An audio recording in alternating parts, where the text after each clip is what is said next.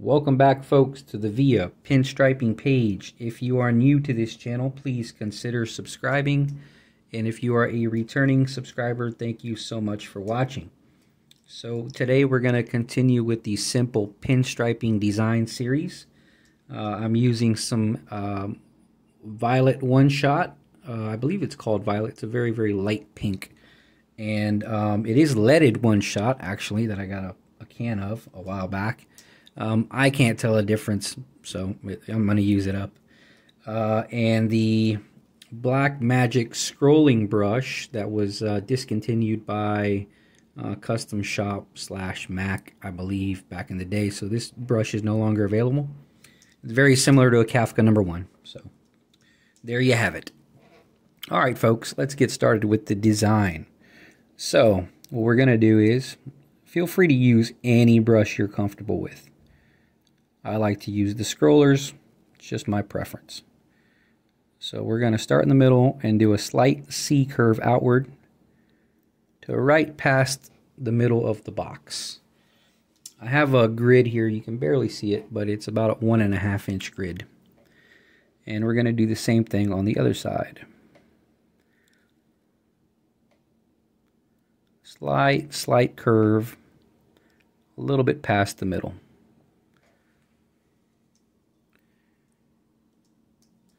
All right, now we're going to give this a slight upward arch and aim for the middle of the design all the way at the bottom.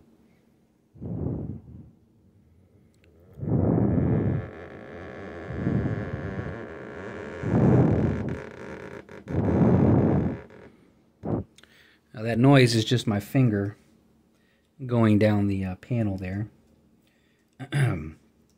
that usually is a is actually a good sign that you're you're dealing with a clean surface. Now we're going to do the same thing over here. Give it a slight arch upward.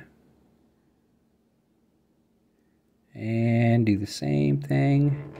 Try to keep the same distance if you can on your way down to the middle.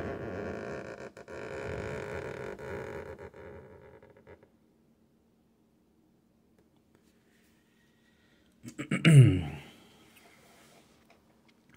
I didn't quite meet because I was trying not to breathe on the camera. So I'm just going to go ahead and give that a good connection.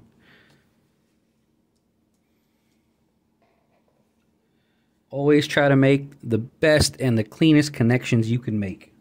That is a true sign of a true sign of like good craftsmanship when you when you're doing pinstriping in my opinion. It just looks cleaner and it shows that you have control.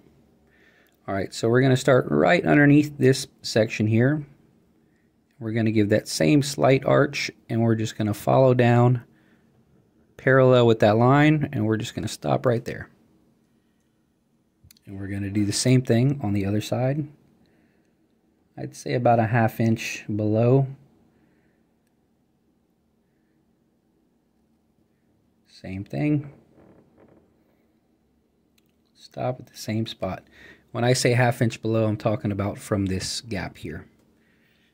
now we're going to give these a slight point by touching from here, going downward and touching the previous line and we'll do the same thing on this side.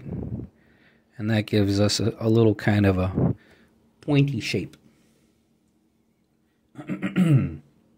It's always good to try to play with round and pointy kind of at the same time. If not you end up with something like a uh, a very one-dimensional design. It's if, if you got too many sharp and too many rounds i think I think sometimes you end up with very one-dimensional design. So from here, we're going to do a standard C curve. It's going to go out and inward to about right there. Same thing. Now this is almost going to the uh, outer line here. I do have one, two, three lines. So it's almost getting to the outer line, which I've sort of wiped off um, with the first few strokes, but I'll see if I can try to match it. Go out and inward, stopping around the same place. now, if you need to, you can always clean them up just a little bit. Because I was just a little bit low. So I'll bring that one higher bring this one lower. Kind of evens them up a little. Now here's where it starts to get interesting. We're going to take this line, which does not connect to this centerpiece. We're going to take this line and we're going to bring it up. But we're going to start up here and we're going to connect it as such. And we're going to do the same thing right here. Always try to maintain the same shape if you can, same distance. And the same clean meeting point.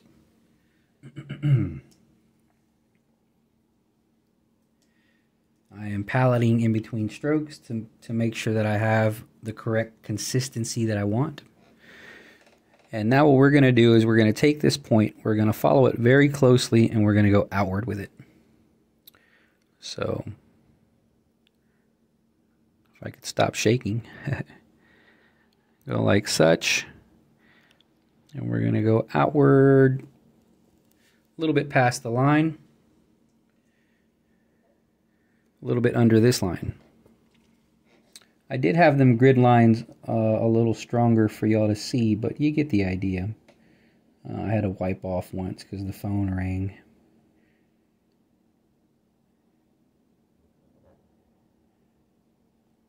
And same distance, same shape. A good way of telling if you did all right is you're going to get these triangles here. Um, if you hit the wrong spots, they're going to look a little different which mine do look a little different. And there's a way you could fix that is by thickening, thickening up this line some on this side and thickening this line up on this side. Sort of boxes in that shape a little bit more. You end up with thicker lines, yes, but it kind of evens things out.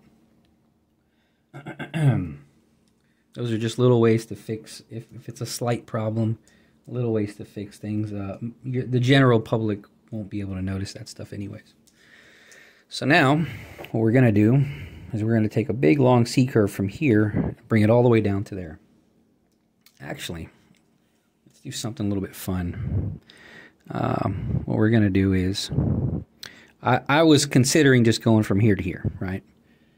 But a good way to break up that line, to give it a, a little bit more of an interesting look, so you can go out with it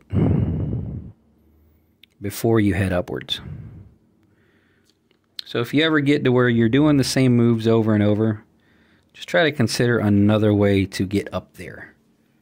Right? So I'm going to go outward, which is just a slight, again, a slight C curve. There's a lot of C curves on this one.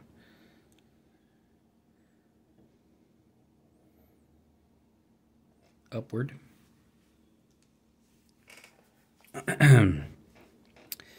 Now I'm going to take it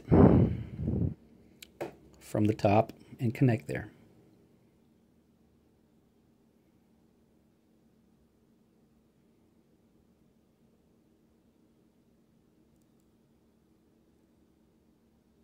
Boom. And we're going to do the same thing on this side. Now, I know this. I said this is a simple pinstriping design. They are getting more complex. Uh, I've done some very, very simple ones in the past. And some folks said, oh, could you try to do some more like intermediate stuff? So this is, I would imagine, a little bit leaning towards um, if you already understand how to move the brush, or if you're just starting out and just want to try it, try out, see how you can do, give it a shot.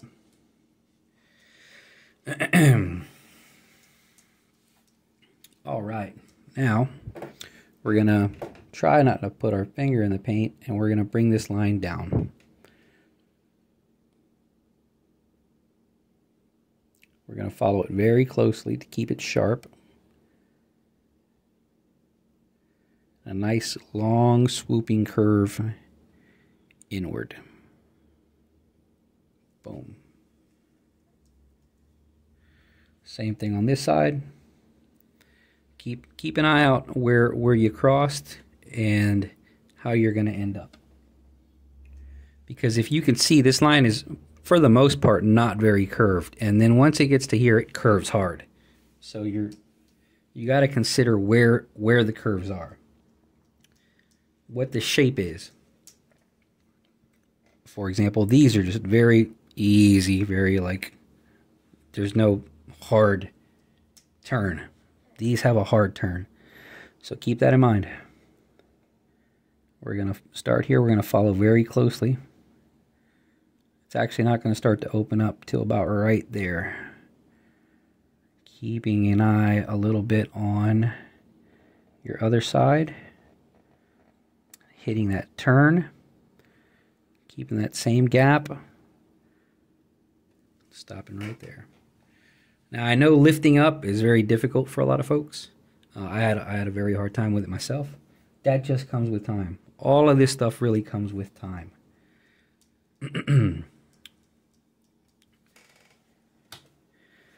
now, let's see.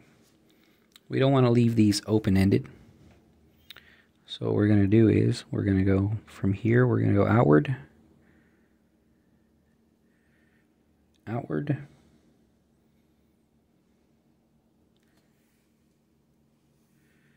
And we're just going to meet those in the middle to finish the design.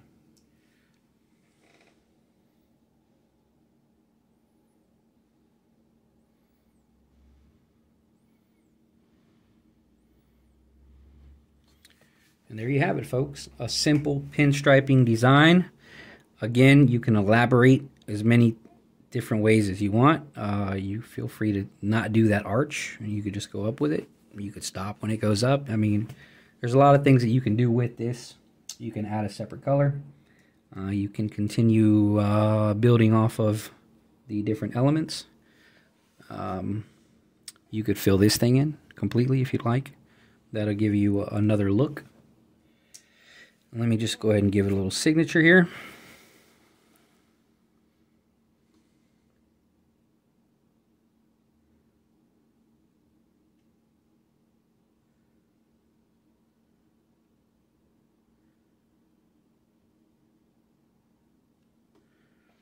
Now, I may have mentioned this last time, but I do this little swoop because I have a hard time with gauging distance because I have one damaged eye.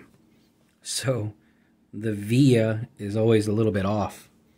And I use this swoop to give me a little bit of distance in whichever way it's off. So it was off this way, I start the thing on this side and it kind of evens me back up. If I'm off on this side, I can give that line uh, a little bit more of a tail and it'll even me back out. So uh, make sure you give this a like if you like the video. Make sure that you subscribe and um, you can follow me on Instagram at Villa pinstriping. Uh, and thank you all so much for watching and I hope it helps. I hope you have a great day and take care.